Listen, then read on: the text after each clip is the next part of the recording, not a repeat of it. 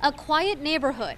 Carrie Rose has lived on East Collard Street for about nine years. She's shocked about Madisonville Police Department's recent human trafficking and prostitution bust. You know, we knew about the, the the drugs and we heard about the prostitution. I didn't know if it was just a you know a, a rumor. That bust just three houses down from where Carrie lives. I do have children. It's really hit close to home. Crimes police say were going on for about five years. In this circumstance, uh, Jennifer Kelly, the madam, she would reach out her hand but then have ulterior motives. Police think that 12 people might have been involved, girls as young as 13 years old forced into sex work. Also getting the prostitute victims hooked on drugs, a crime that police say is rare in this town. This is absolutely out of the ordinary. Uh, for small towns like this, especially such uh, faith-based and close-knit uh, communities like this. Though this type of crime often goes unreported, police ask the community to keep their eyes and ears open